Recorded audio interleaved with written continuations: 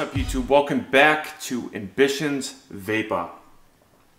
First off, I want to give a shout out to all my patrons that have donated to my channel.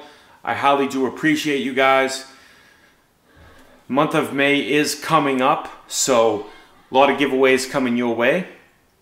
And I also want to give a shout out to Wicked Wattage. He has a YouTube channel. He is from Boston like myself, and he's an upcoming review. He does some pretty good reviews, and I want to give a shout out to him. Go check out his channel, subscribe, leave a like, watch his videos, give him some support. He's trying his best. I like his stuff, and he's local. Today's review is on the Pilgrim GTA by DigiFlavor. Let's take a look at it.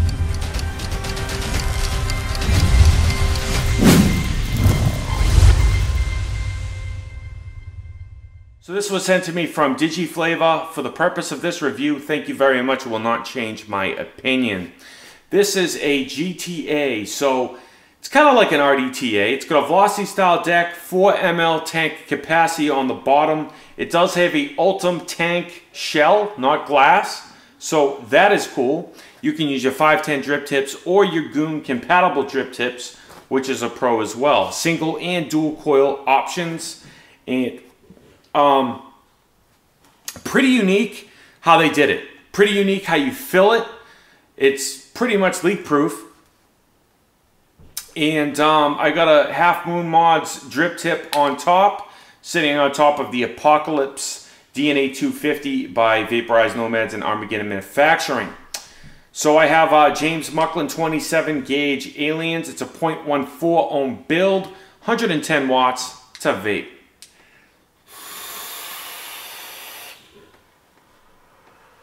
So what we're to do in this review, guys, we're to dive down. I'm to show it to you, um, take it apart, put a build in it, wake it up, the whole nine for you guys. Then we'll come back up top, we'll vape on a talk on it, pros and cons, final thoughts. If a mugger stole my book bag and this was in it, would I go out and buy it?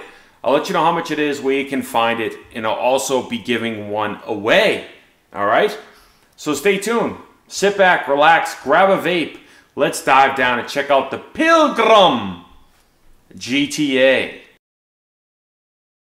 Convenient top fill system, adjustable side airflow system for perfect flavor velocity style deck for both single and dual coil, capable of your 810, which are goons, and your 510 drip tips. All right, this is a sample package. Yours will definitely come in a different style of packaging. You're gonna open it up and you will get your Pilgrim GTA and inside you would get a 510 adapter, some clear O-rings, and a screwdriver with some grub screws, four of them. All right, now here is the Pilgrim GTA. Let me give you some specs. It holds 4 mLs of e-liquid. It does come in stainless steel and black. I don't know why, but they sent me two stainless steels.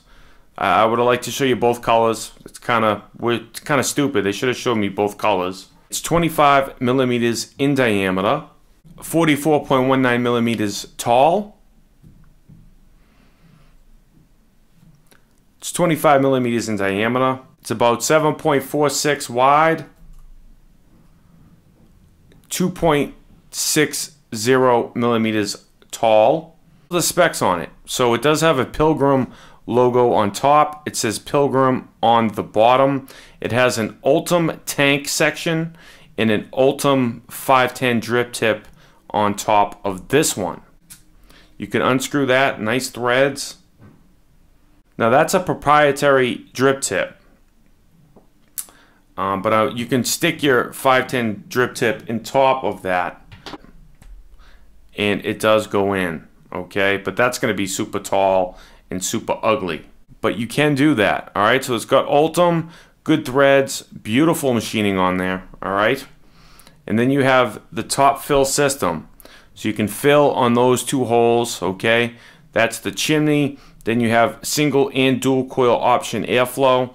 As you can see, you just turn single, turn it all the way the other way, and then you got dual, as you can see. Now, if you continue to turn that, little squeaky, so the airflow goes in, where is it? It just goes side, it's side airflow. So it goes in and up. And then that is the juice flow on the sides.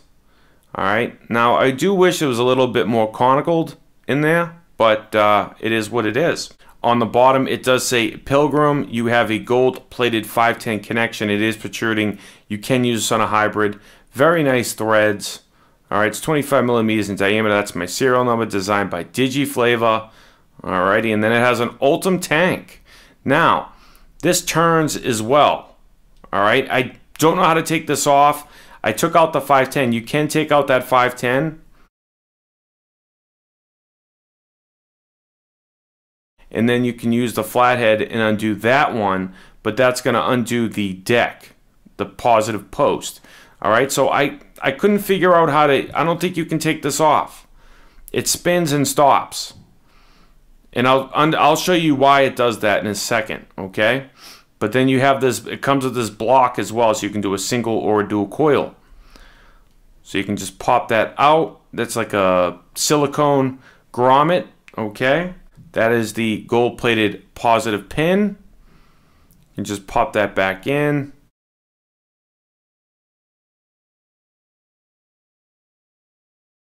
And you're back in business. Peak insulator, very nice. Velocity style posts, kind of a small post design, all right. Flatheads, they use little flatheads, and those are the post holes. They're about two millimeters in diameter. Now it doesn't come with uh, Allen key grub screws. I would like to see them add those with it to have both options. I don't like too small flatheads. It's just annoying. This always slides out. It always just slides out when I'm doing it. It's very annoying to me. If they were bigger, sure, but they're too, they're too small. But some people like that, so it is what it is. You got O-ring here. You got good threads there. We're going to be using some uh, James Mucklin 2736 and 83 millimeter aliens. Comes out to a 0.15. Links are in the description where you can grab these. They're $10 shipped. They're my favorite coils.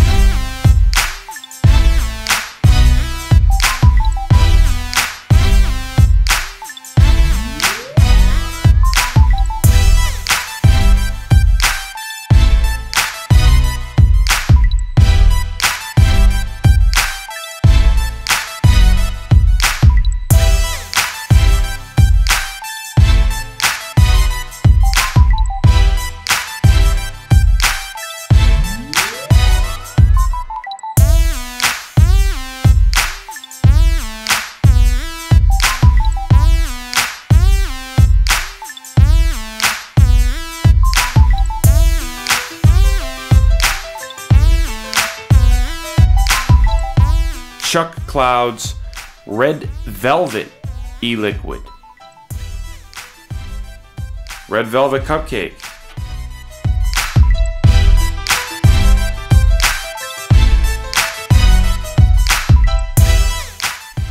Okay, so you have to be very careful of your build.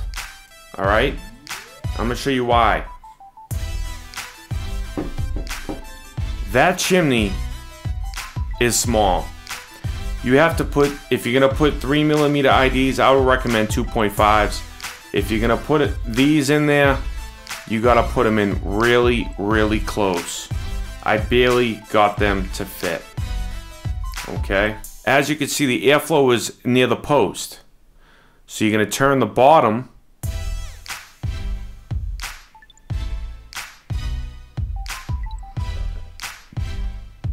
until it's in front of the coil. Now if you look down, you can see the cotton. It goes all the way down to the bottom of the tank, which is kind of cool. So,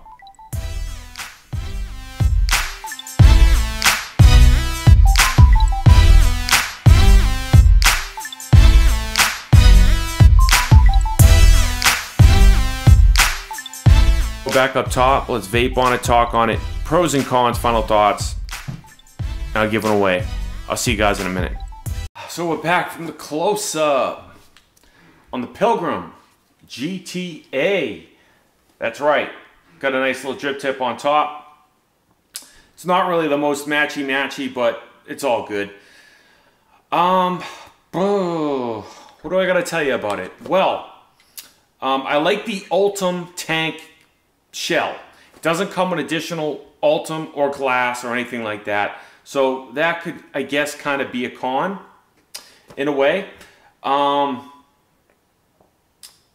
I can't take the shell, the, the, the, the off. I can take the top piece off. I can take the AFC ring off, but that's as far as I can get. Um, so I don't know if that's supposed to come off or not. I'm not sure. What it does, right, is when you put the AFC ring on, you can do single or dual coils. That's a pro. When you put the AFC ring on, you can turn the AFC ring for single or dual, but the airflow might not line up to the coils. So what you do is you turn this on the bottom. See that? I can turn it and you can line it up to your coils like I have now. All right. Now I have it fully lined up to the coils. Probably can't see.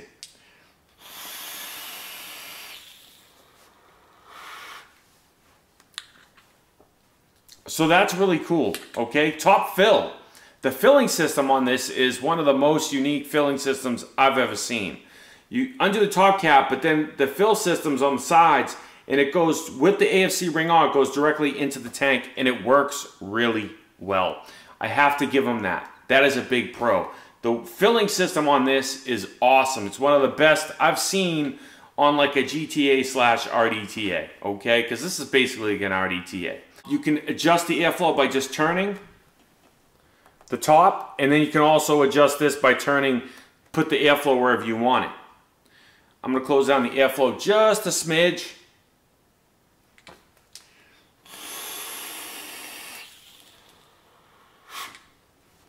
Really nice. Now, there is a con to the Pilgrim. The chimney section on the top cap that goes over the coils is way too small. The build deck isn't a big build deck. So if you're going to do 27, 28 gauge aliens, make sure it's a 2.5 millimeter ID, inner diameter. That's what ID stands for. Um, or else you're going to have a tough time. It's going to have shorts. You're going to have issues. You're going to have like a bunch of problems.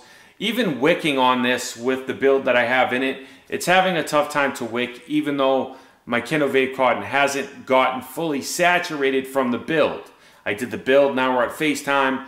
Um, you know, it, it still hasn't fully wicked up yet and, um, you know, it is what it is. But you can turn it upside down, it won't leak.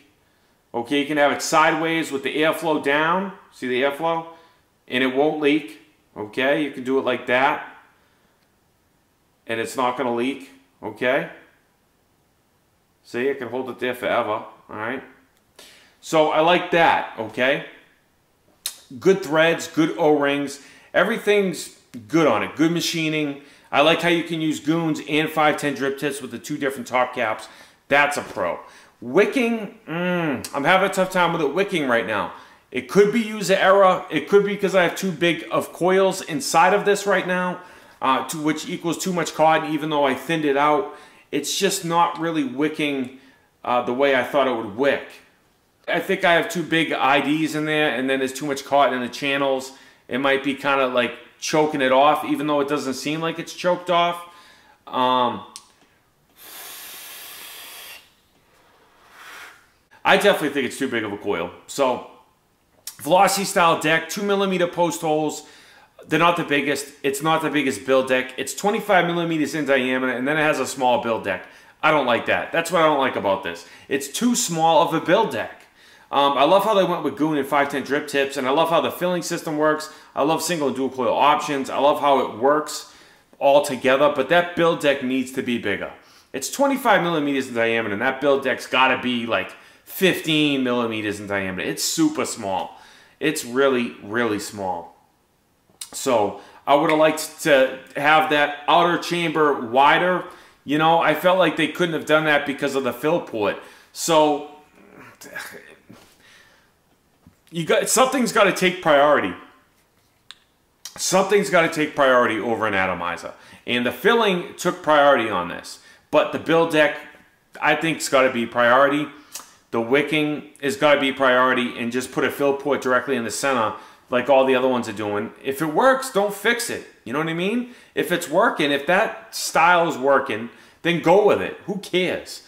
Velocity style deck, We've all seen velocity style decks. I wish they did something different with that as well. I'm tired of seeing velocity style decks.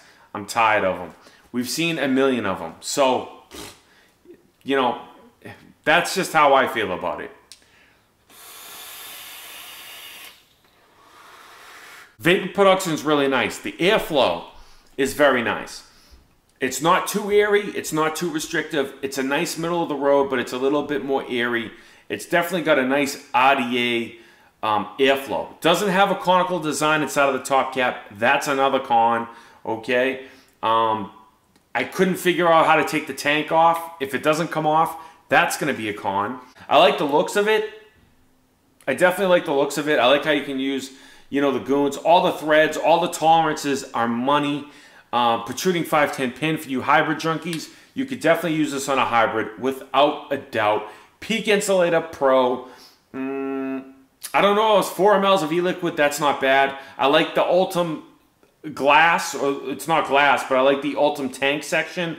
That's a big pro. I haven't seen too many of them, so that's unique. I like all of that, but it comes down to the build deck, um, the wicking. Um, really, the build deck, it's the build deck. I really have a problem with the build deck and the conical design. Those are the two things I think they overlooked a little too much. You put a smaller build on this, it's probably going to be fine. Less cotton, it's probably going to be fine. But I like to push the boundaries on atomizers to let you know where the level of tolerances are. You know, if I just put a small little build in this and whatever, did the review, I don't think you really gain anything from it. I like to know what you can and can't do on products. And definitely don't put a 3 millimeter alien build in this. It's not going to work. Okay? 2.5, I think it would work a lot better. Don't try to do six wraps on aliens and stuff like that. It's not going to fit. Round wire is probably going to work great in this. Um, I just, I like to push the boundaries like I said. And that's kind of the boundary. That's the limit. 3 millimeter IDs ain't really going to work. You probably could get it to work on some builds, but the builds that I like, it doesn't work on this. You might like the same builds. I want to let you know. If you didn't have any RDTA and you're looking to buy an RDTA or a GTA, is this the one to get? Well, if you don't like the builds like me, if you don't like 3mm IDs, most definitely. This is definitely the one to go for. Um, I really like what they did with the fill system. I really like how this thing works as a whole. And I love the looks of it as well. So that's for sure. Now, if you're like me and you like 3 millimeter IDs and aliens and stuff like that, um, you're going to have a tough time building on it. You know, that's just what it comes down to. All right, the build deck's too small. The posts are too small. They're too close together. It's for smaller builds, even though it's 25 millimeters in diameter. So you can find this bad boy at digiflavor.com, all right? And you can also find it at heavengifts.com. Link on screen and in the description. You can definitely use coupon code AMBITIONS, all caps, one word, for an additional 15% off the Pilgrim GTA slash RDTA. Now, the stainless steel version is $27 and the black version is $29. Um, really good price point, under 30 bucks.